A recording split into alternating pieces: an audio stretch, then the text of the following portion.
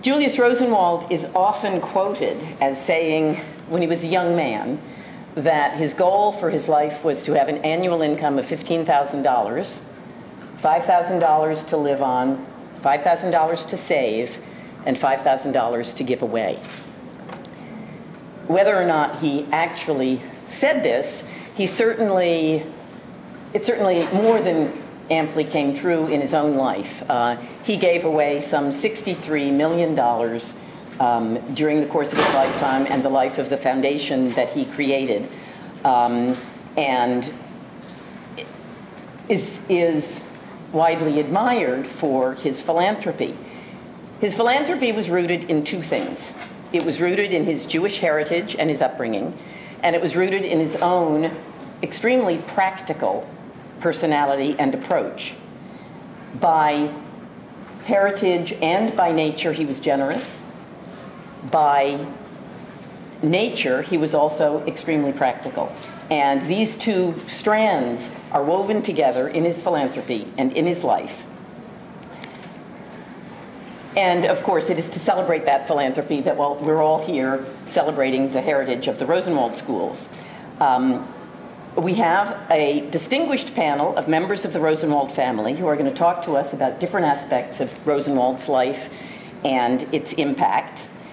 And we have two Rosenwald grandchildren, one great grandson, and two cousins from the German side of the family. And I myself am what I call a Rosenwald wannabe. I married into the Rosenwald family. My husband David is a grandson of Julius Rosenwald's daughter Adele. This is one of this is a picture of the family of Julius in the middle. Uh, his son Lessing, his three daughters Adele, Edith, and Marion, and his youngest son William. So, uh, our first speaker today is Peter Ascoli, who is a grandson of Julius Rosenwald. He is the son of Marion uh, and her husband Max. Uh, Peter is a historian with degrees from the University of Chicago, Oxford University, and the University of California at Berkeley. He has written the definitive biography of his grandfather, and um, I've been asked to remind you all that there is a book signing just after this session in the in the concession stand, and Peter will be there selling, uh, signing copies of his book. As will you. As will I. Um, uh, Peter lives in Chicago, where he teaches fundraising at Spertus Institute of Jewish learning, and leadership. And it's a pleasure to introduce Peter Ascoli.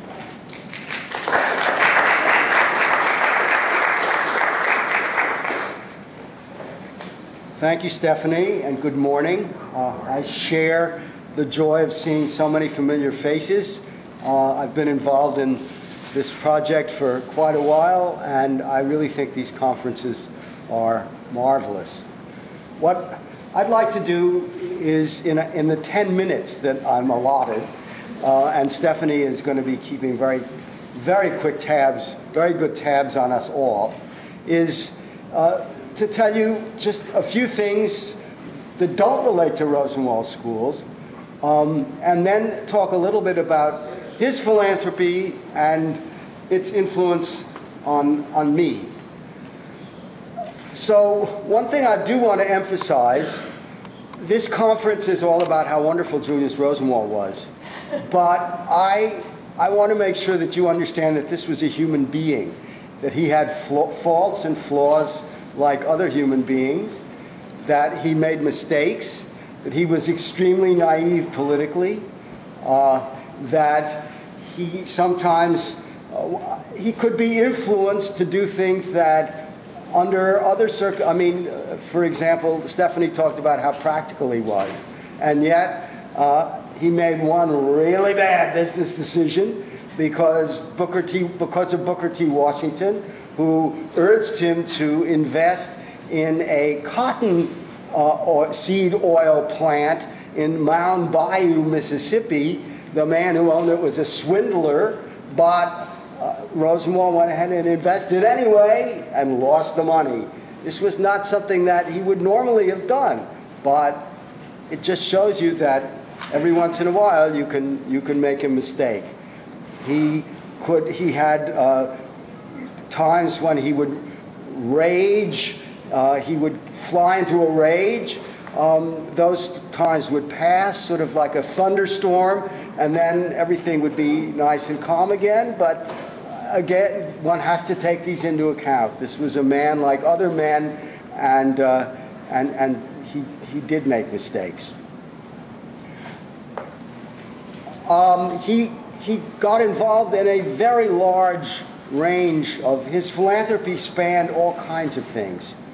Uh, initially, he, he began by giving mainly to Jewish causes because the main, one of the major influences on him, as Stephanie has said, was his rabbi, Emil Hirsch, who was really progressive and who made, who, who urged the wealthy members of his congregation to give to social justice causes. And JR, as his friends called him, uh, really, really agreed with this and, and said that it was tremendously important to do this. And so he started out by giving money in the local Jewish community. Then he gradually extended it and ended up giving to money to uh, even to what was then called Palestine. So he gave money to the early money to the Technion in Palestine and he was very uh, pleased to give money to an agronomist named Aaron Aaronsohn, who had discovered a particular form of wheat which would grow in very arid climes. And he thought that this was terrific, and so he gave money to Aaronsohn's agricultural experiment station near Haifa. So he, he, he gave money to these kinds of things. He uh, gave money to the museum. He started the idea of the Museum of Science and Industry in Chicago because when he went to Munich with his children um, in 1911, uh, he, his, his two older daughters were studying in finishing school in Germany, and he took the whole family over to Germany to visit them, and they were in Munich, and his two youngest children, my mother Marion and Elizabeth's father Bill, were extremely bored. And so he decided that he would devote one day to anything that each child wanted to do. And the only thing that William wanted to do was to go to this museum that had recently opened in Munich called the Deutsches Museum. And it was a sort of prototype of the Museum of Science and Industry. And so every single time it was William's turn to choose, he wanted to go there. So JR got a lot of experience going to the Deutsches Museum and decided that something like this ought to be built in Chicago. It took a while, though, because he had other things to do, like being president of Sears. And it wasn't until he retired in 1924 that he had the opportunity to really push this idea, but he managed to do so. He managed to uh, get the idea through the Civic Club of Chicago, and he ended up putting more money into it. He really was the only force that got it off the ground. If it hadn't been for him, the Museum of Science and Industry would never have been built. Now it's one of the most successful museums in Chicago. Um, so this is sort of one of the ways that he, he approached things. Uh, we all know how the Rosenwald schools got started. It was through two books that he read in 19 that were sent to him in 1910. Uh, one of which was Booker T. Washington's autobiography, uh, and and the other was the biography of uh, a railroad Southern Railroad magnate, and that was the one that really impressed him. And he wrote to his two daughters in, in Germany and said that he he really admired this man and he wanted to be like him. He wanted to emulate him, but that that man had got a college degree and Rosenwald never had. He, he, left, he left school after his sophomore year, and this was something that bothered him all of his life. Uh, he refused to accept an honorary degree from any educational institution because he himself had not earned even a bachelor's degree. Um, there were lots of other things that he got involved in. He got involved in supporting Russian Jewish colonies in the Crimea and Ukraine. He, he pledged them $5 million. That was a lot of money in those days. And the reason, again, was an agronomist. And again, it was the idea of self-help, which had been, which was so important in terms of the Rosenwald schools, because this agronomist uh, had told him that, uh, had shown him that after the Russian Revolution, when Jews could accept, could do anything they wanted to, that one thing that they could do was to learn about agriculture, which they hadn't been allowed to do under the czars. And so to put them in these kind of agricultural colonies that were prototypes of the kibbutz and giving them the opportunity to, to farm, it turned out that they were very successful farmers. And so he thought this was an absolutely marvelous project because it would mean that Russian Jews wouldn't have to go to Palestine. They could, see, he was not a Zionist he was sort of a, he claimed he was a non-Zionist rather than an anti-Zionist, but they could stay in Russia where they knew the language, farm, and be successful. And so he thought this was one of the reasons why he thought that this project was so marvelous. So these are some examples of other things that he did besides just giving money to, to the schools, although that he always claimed that the schools was one of the most successful things that he did. I'd just like to take a few minutes to talk about his, his philanthropy. Peter, too. Okay? That's fine. Um, one of the most important things that he did as a philanthropist was to end the Rosenwald Fund. This was groundbreaking. It had never been done before. And he insisted that it end within 25 years of his death. It ended earlier because of the Depression. But one of the reasons that he did this was his belief that each generation should spend its own money on the causes that it believed in.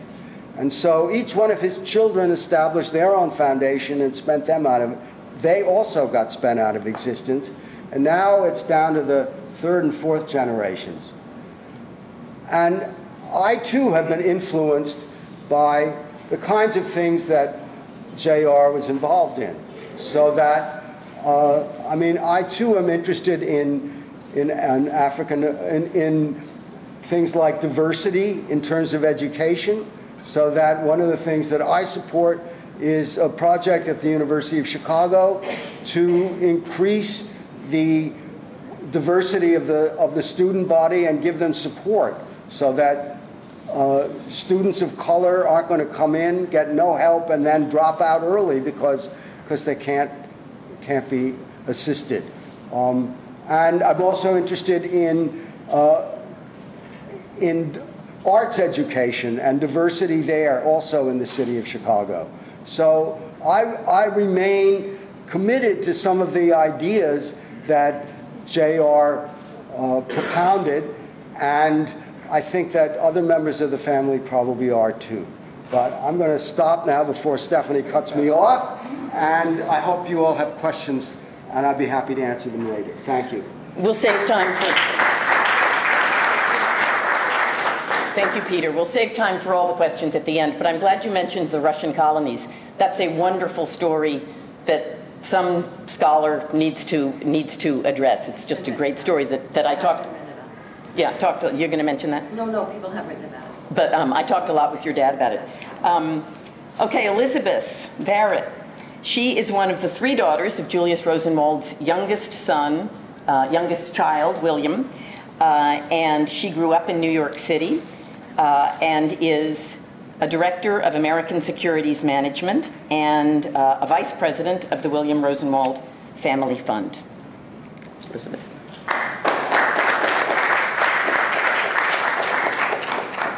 Hi. I'm really glad to be here.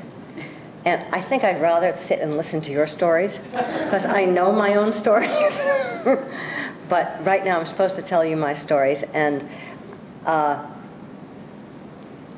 just looking at all the people here and the people who didn't have to be here, you could have stayed home, watched TV, or whatever you like to do, hang out with your grandchildren or children, or whatever, whatever you like to do, and you came here. And it's fascinating to me that you took the trouble to do that, that you were so motivated. And I, I would love to know what motivated you. And I guess that's one of my biggest questions in life that and how do you get through the day? Really, I, that sounds awful, but I really mean that. Because uh, when I was young, I thought being pretty would make me, you know, really popular. Forget that. And then I thought, well, in high school, being smart was really going to be the thing. And then when I was in college, I got really depressed, and I thought, well, if you just get through the day, that's really good. And then the rest is extra. So I really wonder about people how how people get through the day, which brings us to uh, America in 1862 right after the Civil War. And I don't know about you, but one of the things that while Peter was talking, I was thinking how much has changed and how much hasn't changed. And uh, that's a question, not a statement. But I couldn't help think that. I also think that it's very interesting that blacks and Jews, or African Americans and Jews, should come together on a project.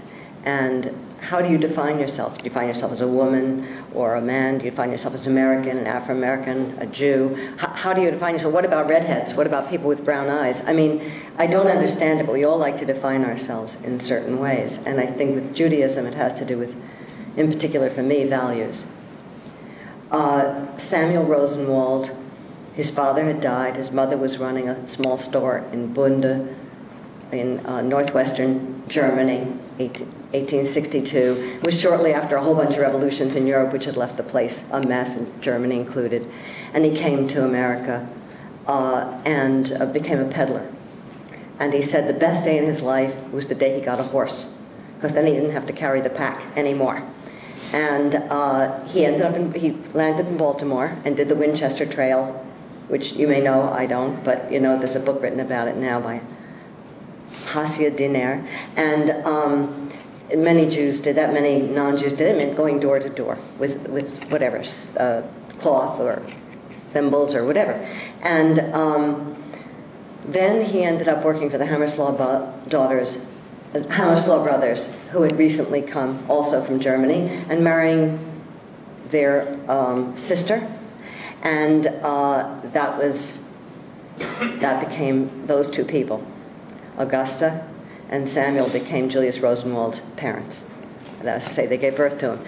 And they gave birth to uh, actually six other children, but one didn't survive. But, and um, Julius actually uh, grew up cat corner from Lincoln, who had died, and uh, who had been shot and died, and, and, and remembers selling commemorative uh, pamphlets as a kid. So he already was in the merchandising industry. And um, he grew up with a fairly successful family. Moved to New York. He, he didn't graduate as a, he didn't leave school as a sophomore in college. He left so- school as a sophomore in high school. 16 years old. That was it. My mother never went to school, so and she's the smartest person I ever met. So we're all talking about schools, and I think schools can be life saving, but you can also be an intellectual without them too. It depends on your culture, and I think the finest thing that I have seen in the Rosenwald schools I've visited and heard from the people who went was the culture. They learned a lot, but they learned pride. They learned to love learning. They learned to feel like a great group. And, um, but by the time Julius had made all his money in Sears. He and his wife were very swept away by the incredible success, business success of Sears, and they had social and philanthropic and business responsibilities. And my father thought that the poem by Robert Louis Stevenson, uh, Children's Hour, was that one hour a day you could see your mother. He thought that's the meaning of it. And he would just wait to see his mother and was brought up with Peter's mother, they were the babies, as twin almost, uh, really by Miss Nickerson, the governess. And I think my father grew up feeling very lonely, except for Peter's mother. Very, very lonely. He wasn't sociable. I myself wasn't very sociable when I was a kid. I think it runs in the family. and uh, and um, he, my father, remembers, for example, being jealous of the chauffeur's children. That sounds like a joke, right? But because that he saw the children in the kitchen with their mother often, and he thought that was such a wonderful thing. So I think, what does that mean? That means that somehow Julius knew what suffering was. And William, my father, knew what suffering was. And I think if you don't have any sense of what suffering is, maybe you just don't understand that people need to be helped. But I would say I define what I want for my children and for myself is to be able to have a life that is aware of other people, aware of reaching out to other people, and being able to accept when they reach out to me a life of love and about caring and respect for other people. And that's what Julius embodied. So uh, he had no pretensions at all. He was totally unpretentious. And was able to create an atmosphere at Sears where he wasn't just the big boss. He would go actually to Europe for what, two months? Every many summers, is that right, Peter? And and somehow the store ran very well by itself. He was able to give other people the sense of responsibility that um, people don't have these days. Uh, but my father took this feeling of needing to help other people and he transferred it at the time he was very aware because they were always going to Germany of what was going on at the beginning of World War II. And it was said that uh, he loved, he, so he spent all his time trying to rescue people from Germany because he saw that they had very little time before they were going to get slaughtered. I don't know how he saw it when other people didn't, but but he did. And he and his whole family, but he and his sister Marion in particular worked. They hired social workers and so forth and lawyers, and they got out many, many of the relatives. And my father told a terrible story, which I told our cousin recently. What's the difference between a second cousin and a second cousin once removed? Right? Do you all know? I do, but because he told me. But life and death. Because where did they cut off? the reaching out to the family. That's a scary story to me. But anyway, uh, he understood that people said that he loved refugees so much he married one. That was my mother. She, she was a refugee from Russia and then also from Berlin. And, and uh, she called herself a refugee, but that was very good. She also, she also referred to us as Jew rich kids, which I think was accurate.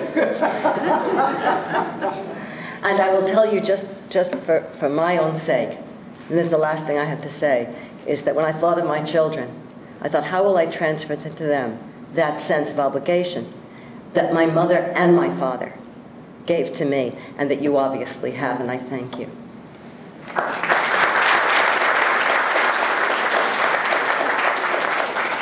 Thank you so much, Elizabeth. Jew rich kids. I'm going to remember that. David Stern's grandmother was Julius Rosenwald's middle child, Edith, uh, and his grandfather was her husband, Edgar Stern, the first Jew to trade on the cotton exchange in New Orleans. And Edith and Edgar Stern were major civic leaders uh, in New Orleans. David uh, lives in Washington, D.C. He went to Georgetown Law School there, and he is the executive director of Equal Justice Works, an $18 million nonprofit that is committed to creating a just society by mobilizing the next generation of lawyers to work on behalf of underserved communities. And so it's wonderful to have David Stern here. Thank you.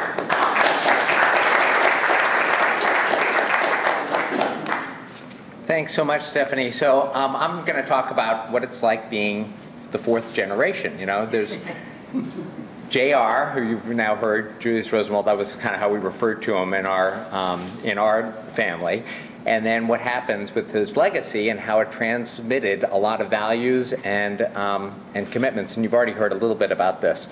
So um, the first thing is, I, when I was growing up, I didn't know anything about Julius Rosenwald. Um, we didn't really talk about it. We just knew that there was a lot of wealth. It came from the guy who built Sears to what it is. And we all kind of grew up knowing a little bit about him, but really not that much. And most of the stories were apocryphal. In fact, um, one of the things that I've learned in the last few years is how many of those stories were probably not true, you know. But nevertheless, these were the kind of the things that we uh, we learned about, kind of on our parents' knees. So. As Stephanie mentioned, so there's JR, then the daughter Edith. She was in her own right a kind of civil rights activist in New Orleans. She would drive down um, and register African Americans to vote. She was very involved with Dillard University, again, in the same way that Julius Rosenwald spent a lot of money on Tuskegee. Um, he, she spent a lot of her money um, on creating um, and supporting Dillard University and, uh, and really instilled those values also in my father, uh, Philip Stern, who came to Washington, D.C., did public policy advocacy, and really taught, and again, this is the tradition of our family, taught philanthropy, really taught all of us kids kind of on their, on my parents' knees about giving money away. So I want to um, talk a little bit about that because each one of these foundations, Peter already mentioned it, they lived for a 25 year period. Every foundation from JR and then Edith created a foundation called the Stern Fund. And that was one which was Edith, her kids, and then the, the, the grandkids who were on there. So that was actually my first exposure. We'd have these foundation meetings. Uh, and really, as young as I can remember, 10 years old, maybe even younger, I would go to these meetings, I'd sit in the corner, and it was an unusual foundation because we'd have grantees actually come in and make presentations about their project. And it's related to this principle, and I think when you see Aviva's movie on Friday, you'll have a chance to see this this idea of betting on people. A lot of folks can submit really good proposals, but then you meet them and you realize they're not quite, they don't have what it takes in order to make them successful. So these meetings, you know, we would grade the proposals based on what was written, and then you'd meet the people, and many times your opinions changed based on um, based on meeting them. Sometimes they'd write a really crappy proposal, but they'd come in and you'd say that person has the mettle and the determination and passion in order to make that project a success. So it was very interesting to see how the decisions changed, and you can't really judge merit uh, based on written proposals alone. so again, I'm sitting in the corner, I'm listening to these phenomenal activists. We had very little religious training in our family. Actually, I would say our religion was social justice. We talked a lot about it at the dining room table. It was kind of the kind of core values that we grew up with. So a lot of the people who presented were really on the front lines working for social justice and doing very avant-garde work. So you can imagine philanthropy is actually not something you intuitively know how to do, but watching people who know how to do it well is extraordinary. It was probably the greatest life lesson of my upbringing was watching people who ask great questions. How is this project sustainable? Is it replicable? What about leveraging dollars? Matchmaking, you know, the match matching grants, which again I'll just touch on just for a second. But just having the benefit of seeing wise people who had done this for a whole generation and listening to the way they thought about how to leverage and how to make the greatest impact with a relatively small amount of money um, was really quite an extraordinary lesson. So uh, I mentioned the power of betting on hot people, and that really has been not only the story of that foundation, but also the story of my life, my career. I've worked at this nonprofit organization that really is supporting the next generation of public interest lawyers, and it's all about betting on hot people. You know, people who are really talented with vision and passion, and putting them in communities that are underserved that need that kind of legal talent. And again, it's just been a phenomenal experience in my, in my life. So I want to talk for a minute about one of the things that's unusual about this foundation, which was our family foundation. So again, it was my grandmother had the Stern Fund, then my father had the Stern Family Fund, and that really was the end of any institutional foundations because all the money got spent out after 25 years. Individually, our family continues to be philanthropists. We still give money away, but it's less institutional than it was with those different foundations.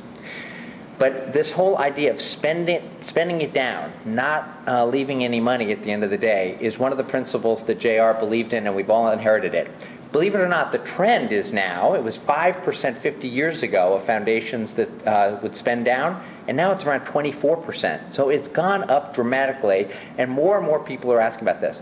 So JR actually wrote an article in the Atlantic Monthly where he talked a little bit about why do I do this? Why do I feel so strongly? And basically his view was foundations that are perpetual are evil. They're not very good because they as much as they try to anticipate the problems in the future, they really don't know what's going to happen. And so many times, um, the dead hand rules, conditions that may have existed when that person was alive, when they created the foundation, those conditions change over time. So, a couple things. One was let's create these foundations that are limited in duration. There will be future generations of wealth that will give money away. Also, we don't want to spend a lot of money on overhead. Let's spend the money now. Let's make a difference. Can you imagine if Julius Rosenwald decided to do one school at a time versus doing what he did? I mean, that is to me bold, risky, and brilliant. And that's the kind of philanthropy that I think my family was also kind of brought up with, which was take risks, be more generous than not. You know, there are people who are hoarders, and then there are people who are saying more with the spirit of generosity. And I think our family was always, my father always said, err on the side of generosity. When in doubt, give the money away. So um, that has been a, a, great lesson. The other thing is, um, I mentioned the overhead. The final thing I want to mention is just, and this is again part of the reason why I love the 25 year story and giving money while you're alive and not leaving it for somebody else to give away, is the joy of giving. You know, I always feel like the satisfaction that I know I have experienced in my life um, supporting organizations that I so passionately believe in is incredibly joyful. It's a pump your fist enthusiasm that you get when you make a grant and you're, ena- and you're enabling something to happen that didn't happen before. And, you know, the idea that you don't experience that in life and leave the money to somebody else to have that experience, it's like, why would you do that? you know? Just strikes me as so intuitive. Do it while you're alive and have fun doing it. Finally, the last thing I'm going to mention is matching grants, um, because this, again, is a tradition that got passed down, and then I'm finished. Uh, so matching grants. Um, my, my father inherited this honestly. As you know, Julius Rosenwald, famous, and I really do want to say something that Alice Rosenwald mentioned in one of our meetings, which is the real power look, 20% of every dollar is what made these schools. 20 cents on the dollar. I mean, most of the money came from the community. This guy gets a lot of credit for being the spark that made it happen, but the truth is the communities owned and invested those, owned and really were investors in those schools, and that's what made them so successful. So power of matching money is extraordinary, and my dad, oh my God, these nonprofit executives who I meet now and then, they say, you can't imagine how cockamamie his, his matching grant, grants would be. So if you raise more money from your board than last year, with you know so they have to renew what they gave plus a thousand dollars then i'll match it up to five thousand dollars. I mean again these crazy conditions that in the end made it very difficult but it also was to try to make a marginal difference. You know how can i incentivize people to make that extra effort that they might not do? So um, that's my little story in a nutshell. Again, I feel very honored to be with all of you, and again with my relatives. I learn every time I'm with everybody. I always feel like I'm learning so much more about my great grandfather that I did not know at all growing up. But thanks again.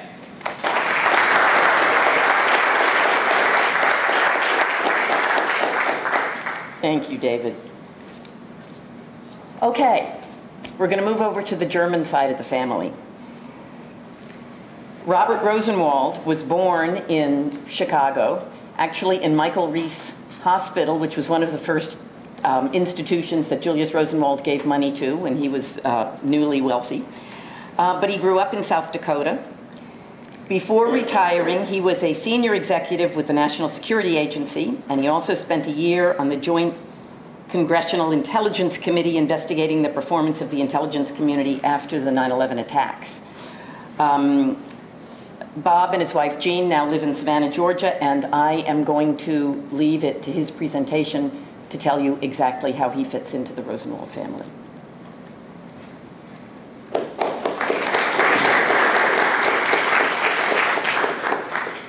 Uh, we put this together. Jean, uh, my wife, will uh, correct me where I've uh, leave a few things out or uh, miss a beat.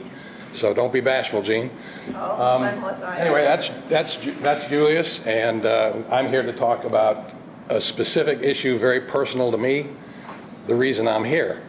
Uh, so this all relates to the really the money and the philosophy of Julius Rosenwald. He's the linchpin in what I'm about to say. Um, so from uh, don't forget because I won't mention him again for a little while, but he is the guy that made all this happen. So I'm here to talk about a specific issue that is how my father, Fritz, and then anglicized to Fred, got over here thanks to the generosity of the Rosenwald family and some of the, some of the stuff you've heard here about the uh, the funds and so on, and the influence that important people have. There I am, the little guy on the, the, the little guy on the right. I was bald then, and I'm bald now. And that's my proud father. So how do we fit in? There's Bendix on your left and Julius on the right. And their fathers, Bendix's father was Hermann, Julius's father was Samuel. They were brothers. So that's my father's father, my grandfather, and we have huge generations in my family. He was born, Bendix was born in 1861 in Germany, and uh, Julius, of course, was born in 1862 in Springfield. And that's my grandfather. So I am as old as I think I am. This picture, which is one of two I've got here, demonstrates uh, that uh, Julius and family would come over and visit the German family frequently. His wife, kids, and here, and there's Lessing. That's my grandmother. That's that's Julius's, or that's uh, Bendix's wife, and I'm almost certain that's Bendix. And then this is another visit. This was in Berlin, and there's the family, and this was on the back of this picture, uh, which uh, obviously uh, 1924, and uh, by that time Bendix was already dead, and you can see how much Emma has aged. This is her. Your grandmother. My grand, my grandmother. Thank you, Jean. Yeah, my father is this studious guy right there. What made this all, what made this, what I'm about to say is my interpretation of materials that we were given by Bob Adler. Bob Adler is uh, the son of Max and Sophie Adler, and I'll, I'll get to all that. Sophie Adler was a sister of Julius. Oh, Gussie. No. Oh, no, Julius. Yeah. She's supposed to help me, not you.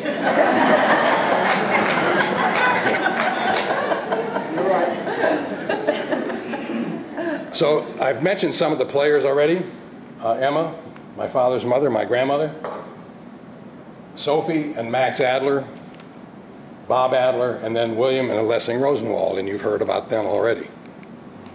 So I've got some pictures. Everybody said when you set up a PowerPoint slide, have pictures, so here are my pictures. That's another shot of Emma, my grandmother. Isn't that a great one? I, anybody who has better pictures, because there are some, because I had to scrounge around to find one of Bob, and I also had to scrounge a little bit for William, but that's Lessing. He, had, he took some great shots. When he said jump, I'd say how high, I think. Anyway, here's, here's the deal. This was the situation that, would, that, and this is my interpretation of the situation as it presented itself. 1933, the Nazis come to power in Germany, and my parents, uh, my my parents, my family had a cigar manufacturing facility in Bünde, Germany. That particular area of Germany was well known for uh, tobacco manufacturing, cigar manufacturing, and they had a small operation. And uh, in 1933, it was seized. Uh, and my father had, you know, was lamenting that the Nazi flag flying over their cigar factory. Emma, who was the CEO by then, and she was 60 some years old, so all of a sudden she had no job. My father, who was going to be the CEO, he was the only man in the house. He had three sisters. Uh, all of a sudden he was out of work with no prospects. And of course, over here, big time depression. So in 1933, my grandmother, seeing the handwriting on the wall, wrote a letter to, to uh, Max and Sophie Adler, that she seemed to be closest to them, saying she was looking for their help to get Fritz, son Fritz, over to the United States. And I, you'll see at the top of these things I have, I kind of, these are my interpretation of kind of how things went. The Adlers responded with a re- sympathetic but very realistic letter that said, "If times are tough over here. We'll do our best, but we're not absolutely certain, you know, how fast we can go on this because jobs are hard to find for anybody."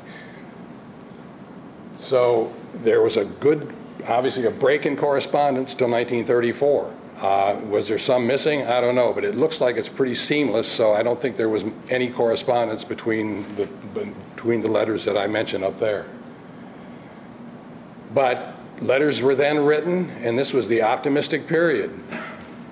They were making they were, the United States in that time were, was, and I'll get to this a little bit more detail. Um, immigration was tough because of the because of the uh, uh, depression, and of course, it, frankly, the United States was not welcoming to Jewish immigrants in those days. So it made it real hard, and there had to be a minimum of three thousand dollars annual compensation or a guarantee of same for, to ha- to accept any immigrant that would come over. During that period, the Rosenwald Family Fund, one of them, was beginning to pay Emma, who is now out of a job, 200 Reichsmarks a month. My father, who had not yet assumed any uh, job of importance, was not getting anything as far as we know. And Max Adler was very confident that they were sending the proper affidavits and everything would be swell and he would be getting on the boat shortly. Well, that didn't happen. Uh, my father went to the uh, American consulate. Uh, he actually was very optimistic after receiving all this information, uh, even book passage. Uh, then his application was denied, and I'll get to the, the details here.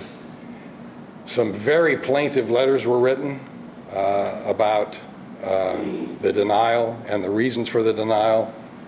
Uh, and uh, this was, and you can't see these things, I thought we'd probably see better, but this is a letter from the American consulate in, in uh, Stuttgart to Max Adler, saying Fritz was unemployed. He talks about having 2,000 Reichsmarks but couldn't prove it. Uh, he presented an affidavit executed by Sophie Adler, which says that she had income in excess of $3,000, but no reference to the sources. So any excuse to not honor these, the commitment that the United States, at least the consulate here, was looking for. My, my father was also, in his words, had a five-minute medical exam. They found him nearsighted. Can you believe it? Um, and uh, they didn't find him bald, but uh, they, found, they found him nearsighted, and they also said he had a heart defect. He was, in fact, nearsighted, but it was correctable. A matter of fact, they even said it was correctable, and he had no heart defect. So then the, uh, the system got restarted. The, the Rosenwalds and the Adlers doubled down. They involved some high powered lawyers who knew much more about how the immigration system worked and how the world of Washington politics and bureaucracy worked. And even so, it took months and months to get the proper paperwork. As you might expect, uh, people of wealth are not necessarily interested in providing all the information about their wealth, so they want to provide minimum necessary to get the job done, but that's it. There was a amazing letter that was in this collection by someone who I am not familiar with. I'd be interested if anybody in uh, in the Rosenwald family and they uh, would would know this. There's a this L. Fable, who is a PhD, sent a letter to William Rosenwald. And, and, and this guy was from Bünde, and he got a fellowship to get out of, he, and he was not Jewish. He got a fellowship to go to China to teach. And he described, and I'm going to quote some things there, he described in vivid detail for William Rosenwald. And William carbon copied this and sent it to a whole host of Rosenwalds. You can read these for yourself. But, and read them, it's a little, is it fuzzy? yeah. When I left Germany, fall of 1934, the situation of our Jewish friends was absolutely unbearable. The persecution of the Jews by the Nazis made their life hopeless. My friend Fritz Rosenwald to be treated like a criminal, to be a second-class man, excluded from society like a dog. Conditions in Germany grew worse and worse so that this man of originally good humor lost all hope for his personal future. I point to the fact that Mr. Fritz Rosenwald does not know anything of this letter because he is too modest to ask for further help. Besides, it is impossible to write further details about his personal conditions from Germany, as you might expect, since, since these letters were uh, censored. So then that letter helped really to get to the finish line. Uh, he, they got Senator Van Nuys from, of the Foreign Affairs Committee involved, sending letters to the State Department. Bob Adler stepped up and put a remarkable amount of personal financial information on paper as in, in the form of, of, an affidavit, as did Sophie Adler. Um, and that apparently a, a, letter and this new information got the Stuttgart consulate to relook at it. November 8th, my dad was called to the uh, council and this is the radiogram that he sent on November 9th, sailing December 3rd, SS Washington. News thankfully accepted Fritz. And why did this take so long? I've already alluded to U.S. immigration policy.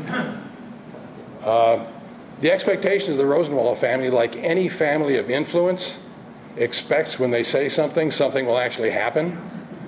And they said something, and nothing happened. Um, it was sort of breathtaking to them um, that that they they had, they had kind of said this should happen and it didn't. So that was kind of an eye opener to them. The conditions, of course, in Germany were unbelievably intolerable, so intolerable that the people here, frankly, did not know how bad they were. And of course, the usual bureaucratic inertia. I'll finish up by saying that when, when Fred got here, he changed his name to Fred, um, he absolutely laid it out in crystal clear detail how bad it was over there. And the Rosenwald Family Fund geared up uh, and used personal guarantees and whatever was necessary to bring the rest of his family over Emma got over, the three sisters got over, one of Emma's sisters got over, lots of other people got over. Helen Stahl here in the front row got over. So the Rosenwald Fund, and don't forget it all goes back to Julius, the Rosenwald funds and the money that he was able to make and then distribute enabled all this to happen. So as Bob Adler told us when we saw him in 1980, the last, the last time we saw him, they were bringing people over they didn't even know. It was because, uh, so I, I like to think my father, who fought a tough two plus year battle to get over, uh, relying, of course, on the Rosenwalds who did come through, um, really made a difference when he did get here. But it all goes back to him. Um, and so that's my personal story, and uh, I hope you enjoyed it.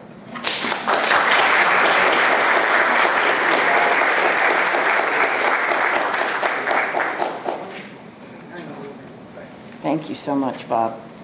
Um, Thought I'd leave that up if you don't mind. yeah, I think so. Well, it, it looks like a picture of you. It is me. Yeah, yeah. The strong genes in the Rosenwald family. Um, Helen Rosenwald Stahl was born in Bünde, and she spent her early years in her grandfather's house there, where Julius Rosenwald often visited and where that picture may have been taken. Uh, she came to the United States as a seven year old girl, uh, and she has lived much of her life here in Durham, where she is an honorary board member of the Russell Rosenwald School.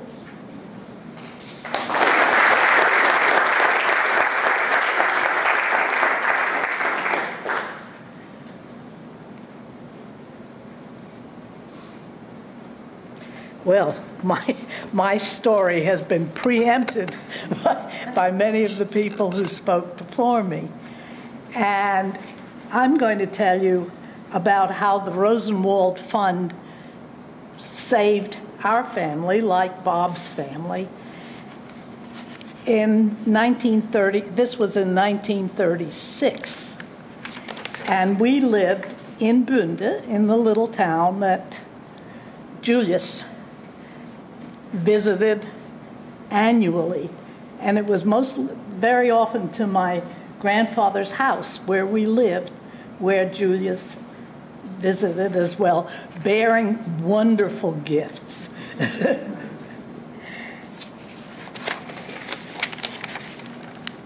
this in this was the West Bunde is in a Westphalian town quite near Holland. And my grandfather and his brother Julius had inherited a cigar factory. But I don't know the one that uh, Bob was talking about. There may have been two. Two, there, two because no Nazi flag ever flew over our over my grandfather and his brother's uh, factory.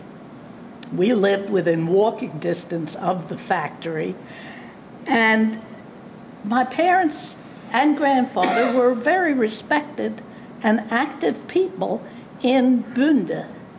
And it was a small town. The town apparently was small enough so that they did not take, the powers that be did not take the anti Jewish laws as seriously as other parts of Germany. Life in the small town was business as usual till about 1935 when the Nuremberg laws, which were passed in 1933, finally caught up with us all. My dad, who was always active in the community, was asked to resign from the volunteer fire department and to drop out of the Gesangverein. And in Germany, these glee clubs were a very important part of the social life in Germany, in the town. He, he was their star tenor, and by the way, he never sang again after we left Germany. I was turning six and due to begin first grade in April, but that was not possible. I would have had to go to a Jewish school a few miles away from Bunde and away from all my friends.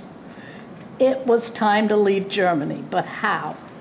And a cousin named Paul who lived, and I can't find him on a family tree anywhere, but he lived in Berlin and he went to New York to the William to William Rosenwald and asked for help in securing affidavits for our families to emigrate to America.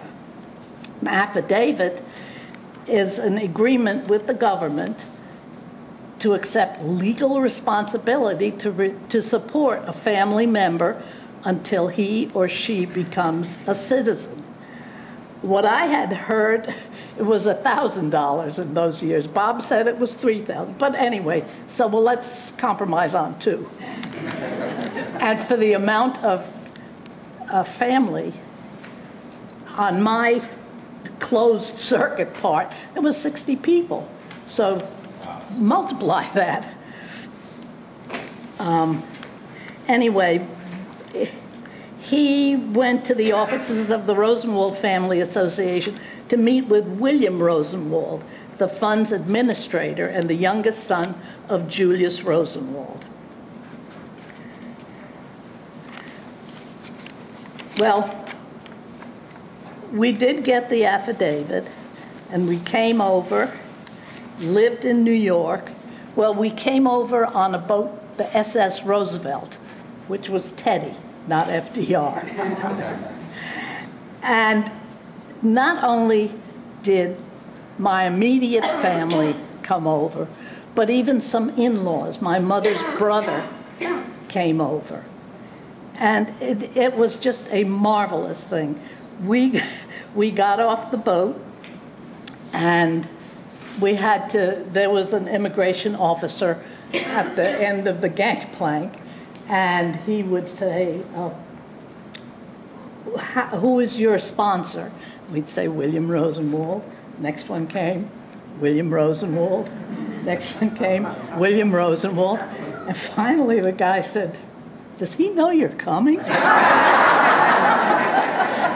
Well, not only, not only did he know that we were coming, but he had arranged for a social worker to meet us, to take us to a hotel, to be a support and like a concierge for the family that came at that time. And sent the kids to camp. We, it was just a wonderful, wonderful relationship. And once a year, after we were all settled, he would come to visit, and that was quite a visit. I mean, my mother would be hysterical for a week before it came. But, and when, oh, and when we arrived to uh, the apartments that the Rosenwald Fund had, William had set up for us, each one of us received, and I can still see it in front of me, a silver tone radio, one of these ones that looked like a little chapel with a green eye when you turned it on.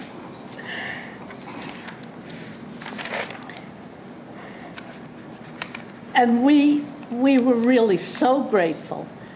The most, my memories of Germany were, I, I don't have many because my father was a photographer and took so many pictures, I have no idea what's, what was really the reality and what I remember.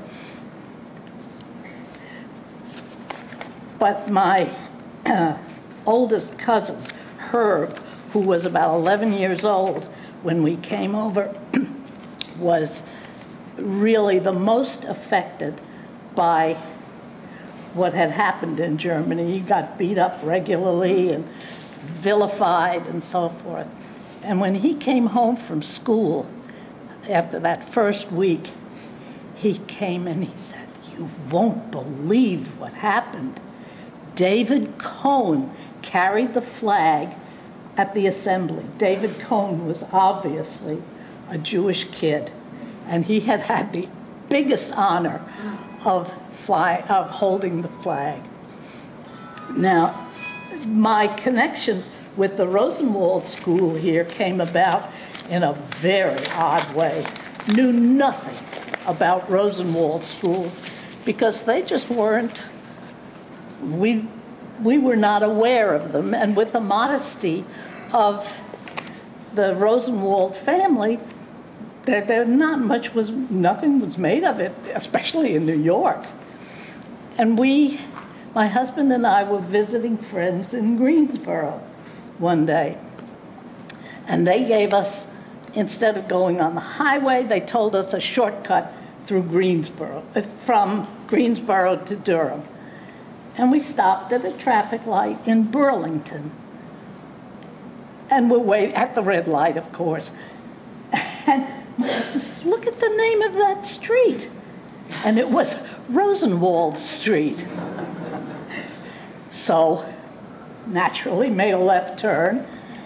And there was a little store on the corner.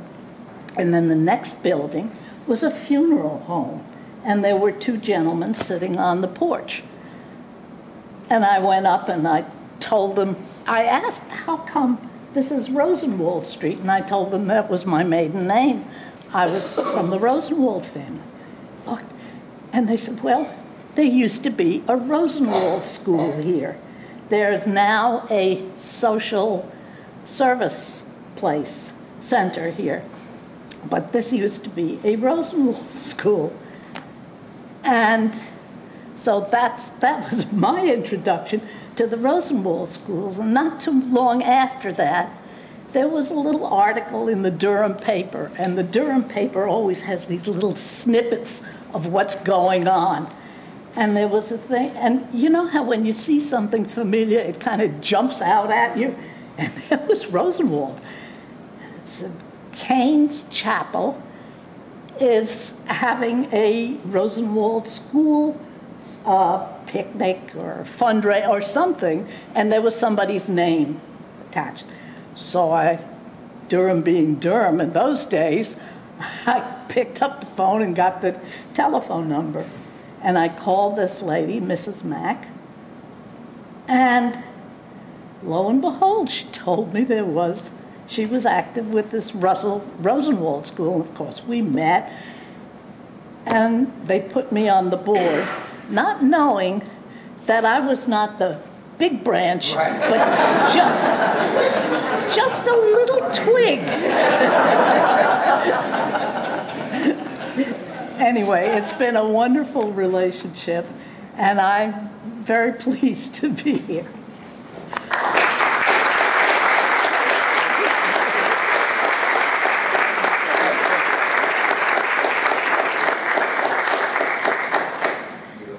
That was so great to hear from, hear from uh, Helen and Bob about the German family. I bet you all have questions.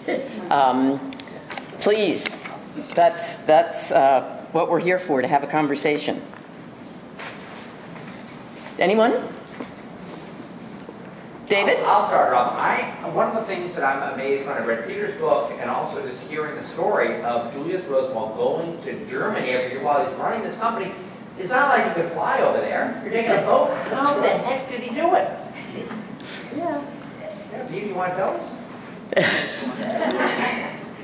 Well, I mean, he, he took off, you know, not, I don't think it was every summer, but he went over there very frequently. And often it was to see, he had a mission really, which was to see the family. And in the 20s, when Germany was suffering from really severe depression uh, and, and uh, you know, hyperinflation and so forth, then he really had to go and take over um, things and he gave money to the family and he would visit various areas. He would visit Bünde he would go to hamburg and there was a paul who actually had come over here and briefly had a job at sears if i'm not mistaken.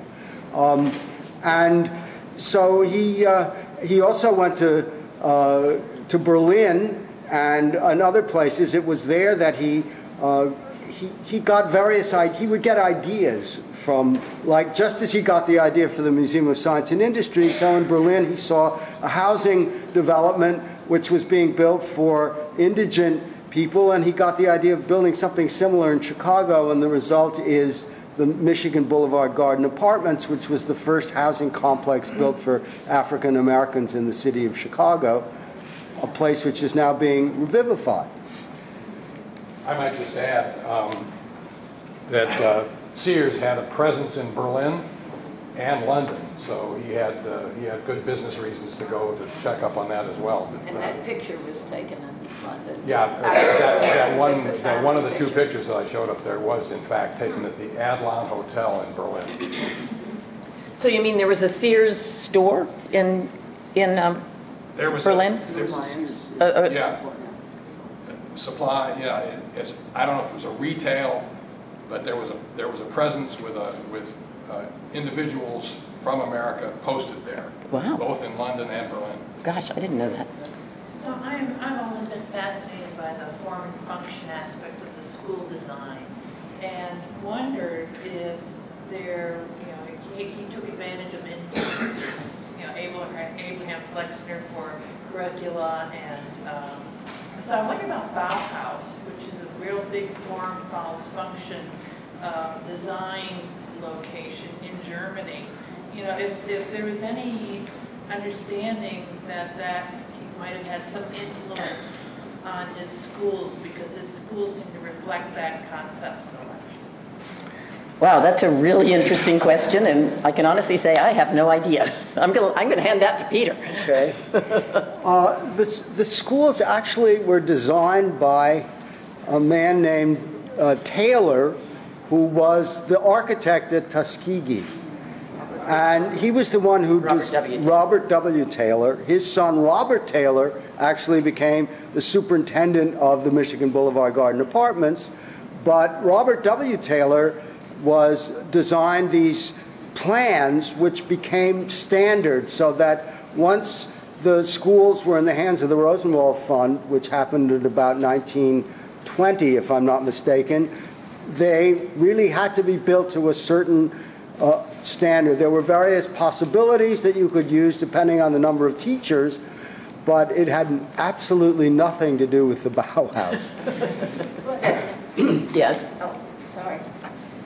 One of the things that I have learned, oh, Mike, well, one of the things that I have learned about You gotta take that, yeah. I don't know what that. See if that works. One of, yeah. One of the things that I learned about schools is that they were either north facing or south facing. And that was to take advantage of the light. Although they were electrified. No, they weren't. No, they weren't. No, they At the weren't. No. No, right, oh, that's right, not in the beginning. But the, by being facing either north or south, depending on where the trees were, that was a good lighting. I'd like to add one postscript. Bob said I can jump in, so I'm jumping in. This is Jean, Bob's wife. Yes. The end of the story about Fritz coming to Chicago and creating a life. He told me this story, and when we started going through the documents, it's all there, all backed up. He waited the five years, and he was ready to become a citizen. And he marched himself off to the office. He was sworn in in Chicago as a citizen of the United States. And at that moment, the man who had just sworn him in and congratulated him was handed a telegram. And the man said, You're a very lucky man. This was the morning of Monday, December 8th, 1941. He said, You are the last person to become a U.S. citizen. We are shutting the office down. Oh, oh So not only is that spectacular, he slid on, in under the wire, but Mo- Bob's mom, who had come several years later from a totally different source, was not yet eligible to become a citizen. And so she, with our country, was labeled an illegal alien. Not an illegal. And- and- what did I say? Illegal. Illegal, what did I say? You said illegal. Oh, oh, I- She's an I- alien. she's an alien. Enemy An enemy alien, thank you, that's the word I was looking for. And because of that, even though Bob's dad was a citizen, they could not have a radio, they could not drive more than 10 miles from their home, they were restricted to where they could live. And so until his mom was able, several years later, before the war ended, but she was put on hold, they had this this strange situation going where they had he had technically had the full rights of a citizen, but because his wife did not, he was not able to. Until when? Uh, 1942, three, At least, in there, at least, somewhere in there. exactly. Yeah, but before the war's end. But uh, we, we do have his certificate of naturalization with the December 8th, 1941. It's a great story. Yes. Back to the, the design of the schools, was there any connection between the, the architect for the schools and the evolution of the mail order kit houses of Sears? No, I don't think so. Um, and in fact, one story I sort of like is that very early on in the project, Julius had the idea, well, maybe we could make the schools out of Sears kit houses. Um, and because Sears sold houses in the catalog, you could. Um, and Booker T. Washington kind of gently deflated that idea and said, well, one of the appeals of the program is that it will offer work for people in the communities and, and they will, the schools will be built themselves, will be built by the people in the communities and people will donate. Um, yeah? If you want to see a funny um, Rosenwald school design, Frank Lloyd Wright did Rosenwald school design, and it was never built. And it will show you exactly why those sort of modernist Bauhaus ideas really were not applicable to the rural school. Where can we see the Frank Lloyd Wright? Google it. Google it? It'll come up. I love that. I didn't know about that. Aviva? What you might not know is, the architect who designed it by Tuskegee was first, the first African-American graduate from MIT. He's also the great-grandfather of Valerie Jarrett. Um, so that's quite a, a great lineage. And those here, who just uh, retired to be the head of architecture department at Tuskegee, and did a wonderful testimony in the film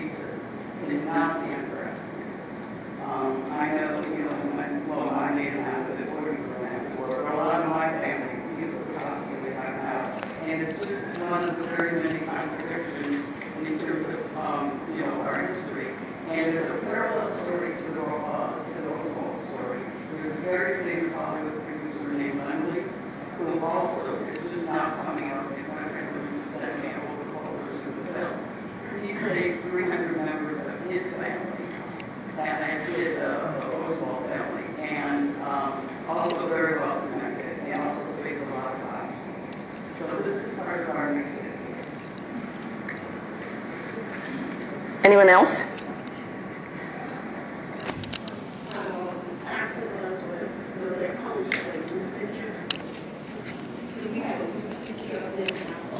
Oh, a group picture, yes, absolutely. Of the Rosenwalds, you Rosenwalds, yes, absolutely. That would be great. Um, anyone else? Jeannie? The actors that we mentioned in your discussion, are they connected with the absence of In Savannah? Yeah. What's up? Oh, I, Sorry, sorry, I I can answer, I can answer that. It's confusing, just like there are two separate Stern families within the Rosenwald family, there are two separate Adler families. Jean will, yeah. Yes. Uh, the Adlers that Bob talked about. Okay, let's see now. They were, they were Julius's Yeah. sister Yeah, Julius's married sister an married an Adler. Julius's wife had a sister who married a totally different Adler. No relation, lived in Savannah. That, that Adler family was from Savannah. They're still there, the family of Leopold Adler. Miss Emma is still a, still a mighty force in our town. So they are related, but they are related through the wives, not through, they're, they're related through By marriage. by marriage. So, uh, how can I say this? So Emma's husband is related to Peter, but because, not because of Julius, but because of Gussie. Yeah, thanks. Got it. There will be a test. I hope you all are taking notes. I was so interested in the family and uh, trips to, uh, between Chicago and Tuskegee. I don't know if there's any anecdotes or, or further conversations about Well, I- I'm interested in those too. What she's talking about is that when, um, when Julius met Booker T. Washington, he, Washington invited Julius to um, be on the board of Tuskegee, and he said, well, if I'm going to consider being on the board, I have to go visit. So in the fall of 1911, he hired a private railroad car, and he invited family and friends, um, Rabbi Hirsch. Rabbi Hirsch, he took his rabbi from the synagogue, and um, his son Lessing and um, various other family members, and they all took you know, it was a long trip to go from Chicago to Tuskegee. You had to change trains in um, Nashville and then take this little, and you know, even today, how many of you have been to Tuskegee? I mean, even today, it's fairly rural out there. Imagine what it was like 100 years ago. Um, and uh, so they take the train down there. They stayed in Dorothy Hall, which is now the Kellogg Center, the, the uh, conference center where many of us have stayed. And um, they spent three days there. And it was a hugely um, moving experience for Julius and Gussie. I don't know, Peter, do you want to say some more about that? Yeah, I mean, uh, Booker T. Washington and his uh, aide uh, had uh, thoroughly prepared things, and uh, therefore, when uh, Booker T. Washington again asked if Rosenwald would serve on the board, the answer was yes. He would come down for frequent board meetings but one of the things that you did to raise money in those days, and this was not just something that he did, it was something that other trustees did as well, so that you had train cars coming from New York and uh, other eastern cities, but he would always bring a group of, at the appointed time, he would bring a, group, a train car filled with his friends and supporters uh, down to Tuskegee because this was a way you could raise money. So that in 1915, he came with a group that included Jane Addams and her friend, the famous social worker, and uh, another man who was important in his life named Billikopf, and others. So, a whole group of people who he then later solicited uh, for Tuskegee. This was the way you raised money in those days to help out the school. It was a brilliant way of doing things. And he had gospel song. Oh, yes, gospel songs were very important. That was yes. the closer. Right, that was always the closer. And that was, he discovered gospel songs in when he first went to Tuskegee. Elizabeth? I, I- I just wanted to say something that, I, I don't think we've talked at all about what being involved with the Rosenwald schools did for Julius Rosenwald. He absolutely loved it. It was the most rewarding thing. He loved gospel music. I've been to Rosenwald schools and heard gospel music there, which is the best place to hear it. And it absolutely gives you chills. So uh, when he was very ill, my father used to constantly take the train from New York to Chicago because they said, hurry, hurry, you've got to see your father. And he often wasn't. He, suffered in the end. He finally died, as I guess we all do. But he, one day he said, you know, I was very ill. He said, I thought I was going to wake up in the morning and say, Good morning, Jesus.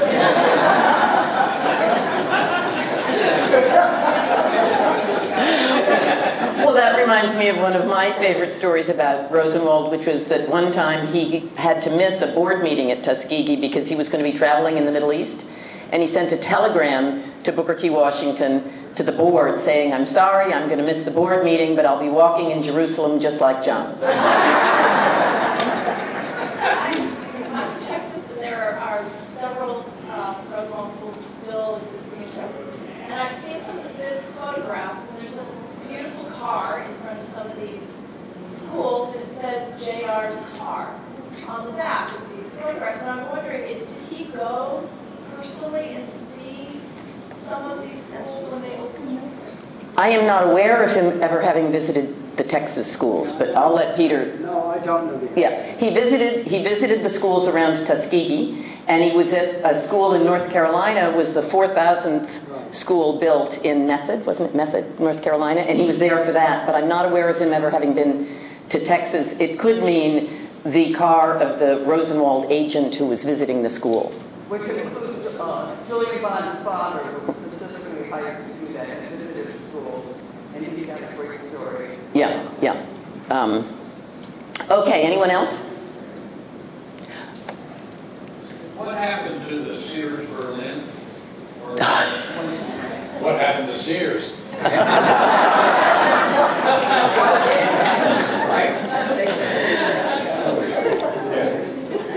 Since, I was guy I, don't know what Sears I, think I, I think that it it got, you know, I'm not sure exactly what happened during the Nazi period, but I have a vague feeling that it was uh, taken over, it was handed over to some other entity. I, I don't imagine they would have, uh, what? Sears, the, the Sears in Germany. I don't imagine they would have has, let. Helen has it. Okay, do you have the answer? Well, I, I don't know that I have the answer, but one of the things that Julius did was to, every occasion that the German family had, he would send some Sears shares. And one of the things that the Nazis did was when they took over the Jewish banks, bank accounts and holdings, was to take, you know, to freeze the Sears shares too and take them over. Well, in about 1955, when Germany paid restitution to a lot of refugees who left, they gave, they paid, they gave the Sears back, the Sears shares back. And that was something, my, I know in my part of the family, ah, if we only had those Sears shares. And they, unfortunately, they came back after the family had really gone through very hard times. But ah, those Sears shares really did help in their later years. Wow, that's a, that's a good, that's a great thing. Anyone else have a question? Um, I'm asked to remind you of a couple of things. One is that I believe there's an evaluation for the session that, uh, oh, is on your chair. It's that white piece of paper. Uh, The organizers would like you to fill that out if you can. Also, immediately after this session, Peter and I will be in the little shop signing our books if you're interested. Um, And maybe you Rosenwalds will all gather out there and we'll get a picture. Um, and uh, Aviva Kempner's film about Rosenwald um, will be shown tomorrow morning at 8.30, I think? 8.45. And again, and again at one showing. at 8:45 tomorrow morning, um, and it's a wonderful it, it's it's a wonderful film about Rosenwald, and and um, so I hope many of you will be able to go. Okay, thank. Hmm. Only one time.